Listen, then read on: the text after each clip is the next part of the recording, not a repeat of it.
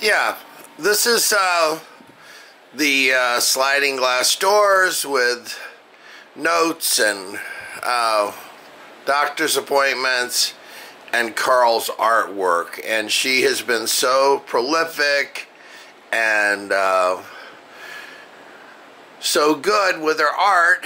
I'm going to take this down and I just wanted to record it before I take it down because it's been uh, fun to have it and I'm going to save it, but I just wanted you all to see it.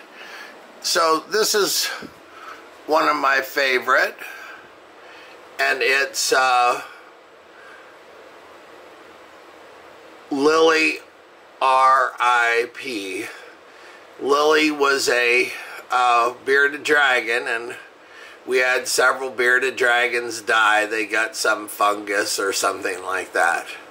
But you can see the hearts with the frowns on them and the flowers coming up out of Lily and it's just kind of cute and so she's just really good with her art. This is Love Coral. Down here she's given me lots of nice birthday cards and uh, always has the slow manatees and the sentiment that we have here. So I think it's cute with her artwork. And then the earlier days, it's a bearded dragon. If you can't tell, those are the mealworms that the bearded dragons eat. And uh, I don't know what this one is all about, but she delivered this one day, and it's uh, Super Tommy Cat. So she's had a cat, and that's her Super Tommy Cat. And then here is private property and you can tell from the expression on the face of the girl and her posture that she's just not happy. So this is uh, what we do all the time here, and she picked up on that, and that was one of her things. And then here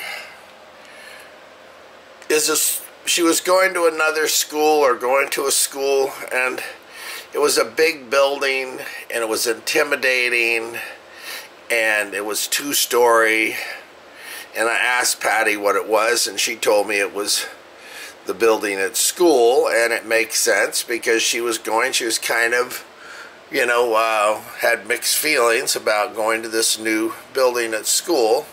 So that's uh, her, I don't know, I guess she's the little colorful girl over on the right. And uh, then you have these little cute notes, and she was into Hamilton for a while, and something to do with a cat. It was a Father's Day. Don't really know what's going on there. It looks like a dock and fish and a net and but uh, again, you know, happy Father's Day. And then her bearded dragons, radar the cat, surfing dog shark. She's into sharks. And then she did this. It was the school used it as a uh, graduating present, or what do you call it? A graduating uh, card.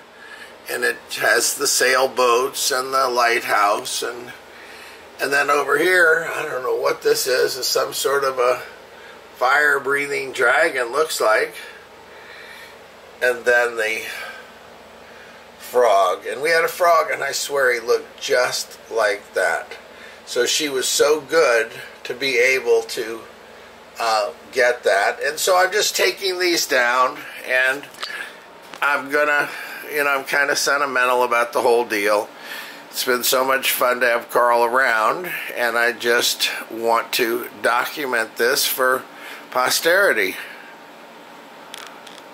Here's another one. This is Coral's lizard, and I'm assuming that is the uh, Madagascar day gecko because we have those.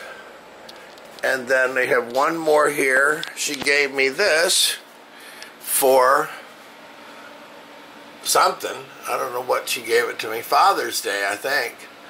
But it's one of my favorite uh, blue herons.